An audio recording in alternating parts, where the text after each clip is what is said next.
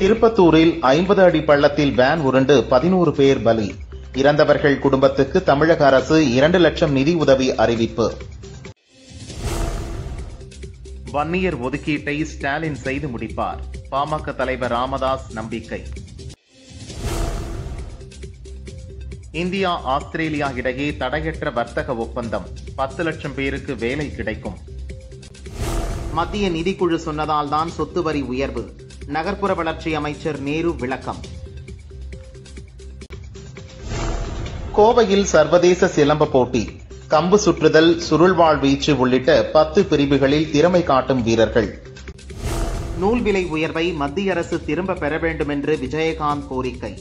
தமிழகத்தின் ஒட்டுமொத்த ஜவுளித்துறையும் முடங்கும் என்று அறிக்கை. தமிழகத்தில் செயின் பறிப்பு குற்றங்கள் பெருகிவிட்டதாக வாசன் குற்றச்சாட்டு. இரும்பு கரம் கொண்டு அரசு ஒடுக்க வேண்டும் என்று வலியுறுத்தல். இலங்கை அமைச்சர் ரோஷன் ரணசிங்க ராஜினாமா. உணவுக்காக மக்கள் வரிசையில் நிற்பது வேதனை அளிப்பதாக கடிதம். தமிழிசையை ஒருமையில் பேசிய நாஞ்சில் சம்பத்துக்கு வலுக்கும் எதிர்ப்பு. புதுச்சேரியில் உருவ பொம்மை எரித்து கண்டன ஆர்ப்பாட்டம்.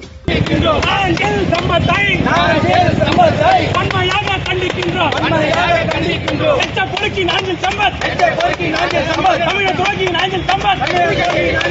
வன்மையாக கண்டிக்கின்றோம் தமிழ் இசையை தமிழ் இசையை எங்கள் மாநில ஆளுநரை தமிழ் குல பெண்ணை கண்டிக்கின்றோம்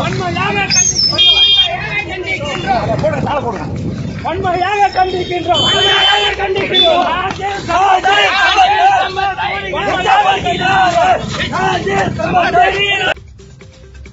திமுக அரசின் ஊழல் பட்டியல் தயாராகிறது. மத்திய அரசிடம் வழங்க அதிமுக முனைப்பு.